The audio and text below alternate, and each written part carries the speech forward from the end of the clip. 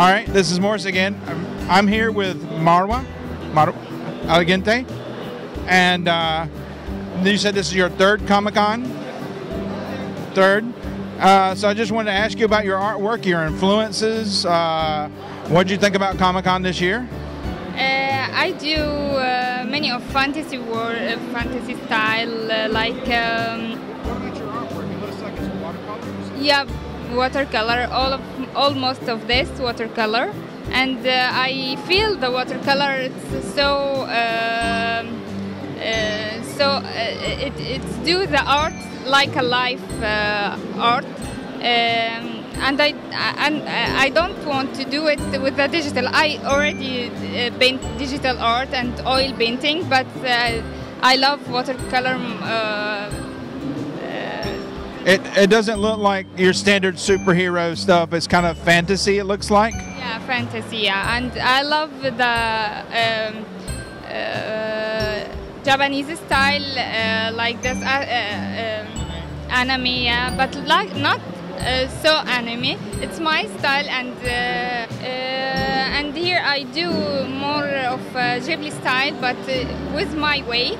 Like uh, Mononoke, Mononoke uh, Princess Mononoke, and uh, Totoro, like this, but in the watercolor with uh, a different uh, uh, style. All right. So this is Marwa's sister. Uh, yes, I am Sarah. Sarah Sarah El Gindi. Yes. Uh, we've been thinking about it actually. Like most of people have said that our work looks similar, but it's not like. But like we're working on a collaboration between us, like both of us. So yeah. It is fantasy, and uh, as you see, like I'm into children a little bit more, like not like grown-ups, but like in her side, she's like into girls and uh, like grown-up like people. But for me, I like children and like like the innocence with like the um, creativity and adventure sense of like thing, things like that. So uh, they are both the thing. Like I'm into individual pieces, and uh, I would like to like I always already done like illustrations and stuff, but like it's not all connected. Most of them like individuals. But like if you if you want to label things, yes, it is illustrations. Like and they tell stories, but not like particularly finished ones. But like they're, they're their individual stories. They're not Yes. yeah, yeah, yeah, exactly, yeah.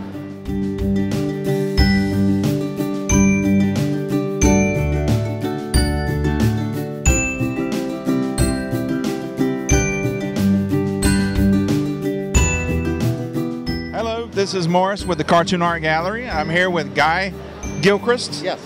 Uh, and you were a you worked with Jim Henson for Yes. one thing, Yes. and you did uh, the Muppet Babies. It looks like. Yeah. Yep. I'm actually one of the creators of the babies.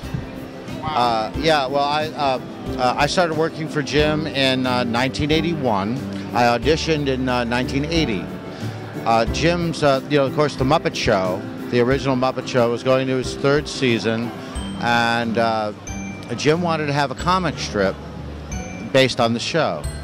And uh, so my job for the six years or so that I worked with Jim was every single day to write and draw the Muppets comic strip that was in newspapers in every country that had a free press in the whole world.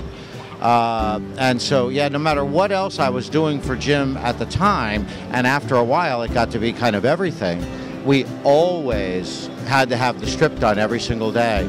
Uh, and then in, uh, was 83 or 84, somewhere in there, uh, uh, we created the Muppet Babies.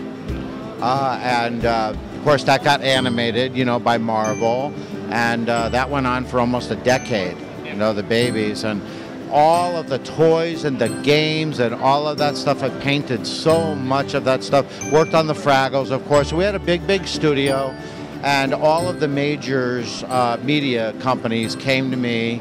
Uh, no, this was uh, in Connecticut, outside of New York, in, in, in the U.S. Uh, Jim's publishing company, Jim's publishing and production and everything, was out of New York. And then eventually it was New York, London, and Toronto uh, as the Fraggles came along. Uh, we had a big studio in Connecticut, and yeah, we wound up uh, writing and drawing uh, Teenage Mutant Ninja Turtles, you know, for Random House and, and uh, uh, Kevin and Peter. And uh, this is my 30th anniversary now of working on Tom and Jerry for Ted Turner and Pink Panther for United Artists and on and on and on, man.